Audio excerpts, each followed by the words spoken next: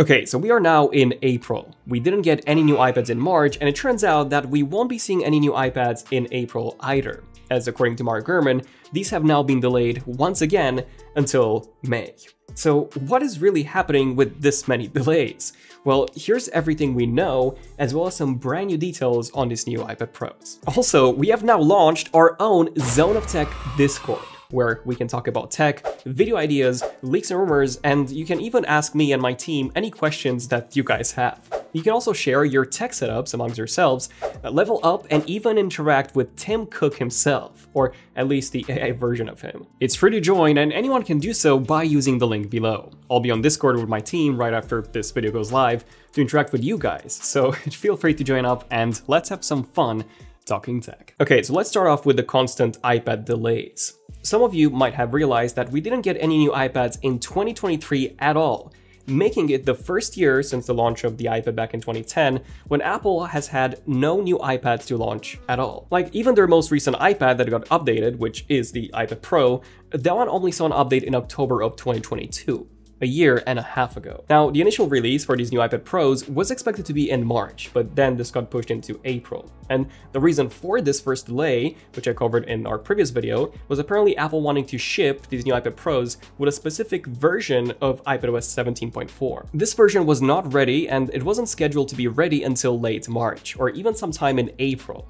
and even once ready, it then had to be sent to the factories to get this iPadOS version 17.4 pre-installed. So when I saw this, even April seemed like a bit of a stretch to me, and now it's been further pushed into May, according to Mark Gurman. In fact, the most recent thing that Mark Gurman said over the weekend is a potential May the 6th release date in the stores. And the reason for this further delay is apparently production issues caused by their new displays. Now, this isn't something that just Mark Gurman reported on, other sources have too. Samsung was originally set to supply the OLED panels for the 11-inch iPad Pro, while LG was set to supply the OLED panels for the 12.9-inch model. But according to South Korean tech news site Hankook, Samsung has been facing poor yields on the OLED panel for the 11-inch iPad Pro, which in turn meant that Apple had to switch some of their production for the 11-inch panels to LG instead. So LG now has apparently 60% of all of iPad Pro's display to manufacture, reason why we have another delay.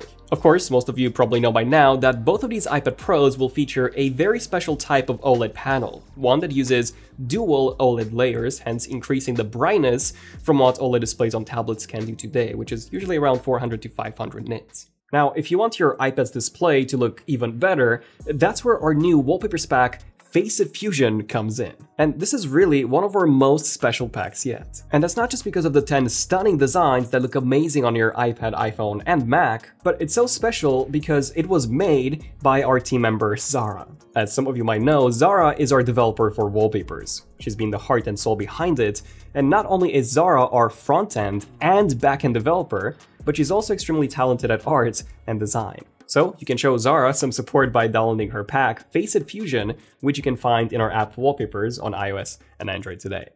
Okay, now going back to the display of the iPads, Apple is reportedly aiming for an unrivaled image quality, as well as a lightweight design. We've already seen this from the CAD models that got leaked before, which did indeed show a noticeably thinner body. That was 13.5% thinner on the 11-inch and a massive 21.8% thinner on the 12.9-inch model. And we do know by now that these new displays were the main thing to thank for this thickness decrease, and also one of the main causes for these significant delays. Now, even though this may seem disappointing, I do actually have some good news here.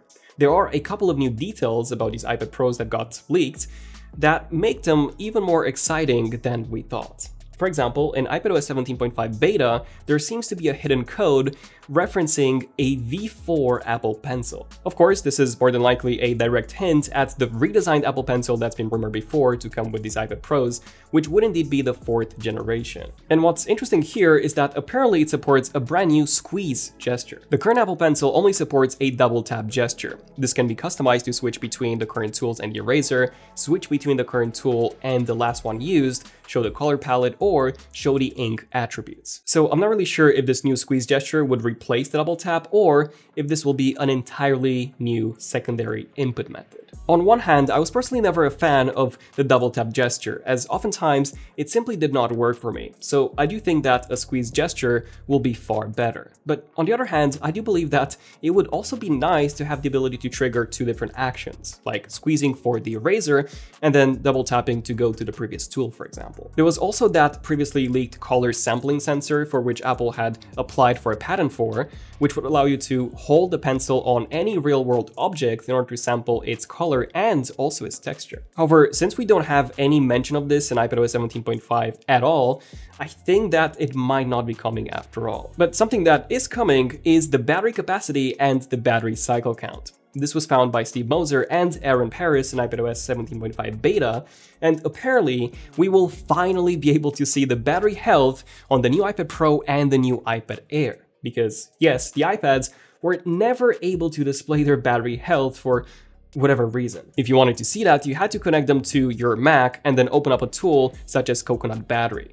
There was no native battery health support despite the iPhone, the Mac, and even the Apple Watch supporting this. And the best part here is that we're not just getting the battery percentage support, but also support for battery cycle count, which is something that only the iPhone 15 supports as well as the MacBooks. And what's even better here is that the iPhone 15s also seriously improved their battery longevity by increasing the rated cycle count at which the battery health remains at 80% or higher from 500 cycles to 1000, which makes me think that if these iPad Pros are coming with the ability to read the cycle count, we might see some increased battery longevity here too. Although the iPads do already support the 1000 cycles, so maybe, maybe we could see an increase to 1500. After all, some phones like the OnePlus 12 have even higher ratings of 1600 cycles for retaining an 80% health. Now, something else that might point towards a brand new feature is a very specific thing that DigiTimes have said. They've stated that another reason for the delays that I mentioned at the start of the video are also the lenses for the cameras. Now, this is quite interesting, as we haven't really had any leaks suggesting that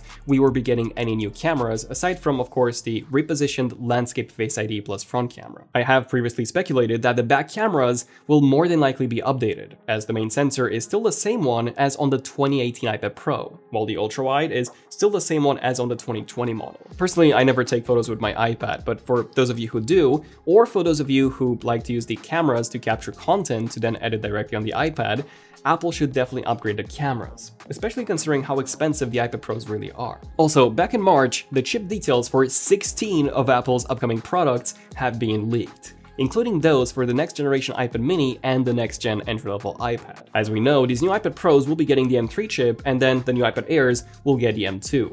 And according to this leaked info, the 7th gen iPad mini will be getting the A17, which I'm assuming is the A17 Pro, since there's no standalone version of the A17. Of course, this will be a pretty significant upgrade from the A15 inside the current mini.